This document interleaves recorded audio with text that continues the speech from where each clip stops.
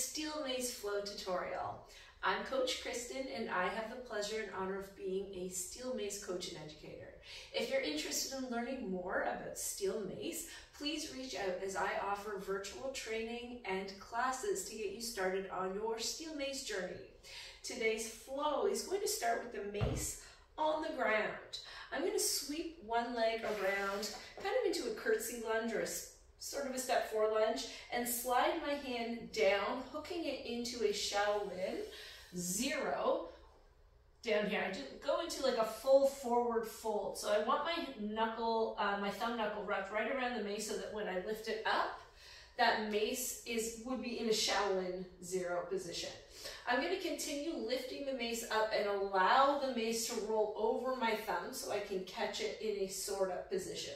It may take a couple tries to really understand the momentum of the mace, so use your guide hand until you can figure that out. From here, I'm going to step out and do an outside sword swing. I will say one, one tip about this flow, this foot doesn't move from the whole flow. So I will be moving around that foot the entire flow. So from here, I step up, I go into an outside sword swing, and then I'm going to take it to an inside sword swing, but I'm going to crest it around that pivot foot, inside sword swing, and then I'm going to crest it back again, pulling my mace out, over overhand grip, into a pivot uppercut.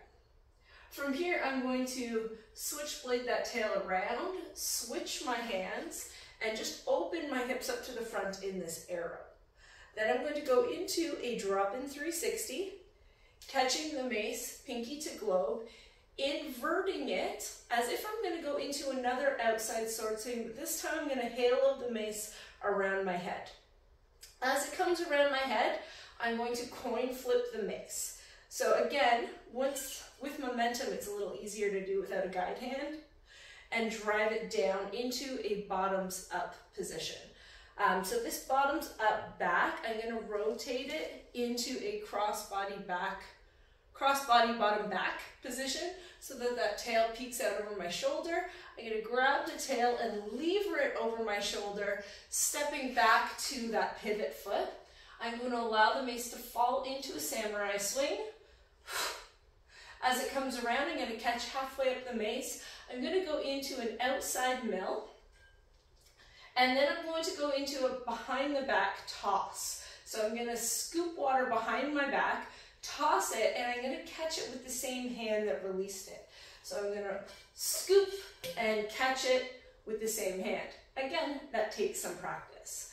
Once you catch it in this sword up position, it's gonna wanna lever in this horizontal position anyway, so I'm gonna rotate it around my back, bringing that mace all the way around. So now I'm holding the tail, and then I'm just going to invert the mace all the way around and plunger it down into the ground. And this sets me up to go on the other side. So message me with any questions, tag me if you try this, and always, always flow on, my friends.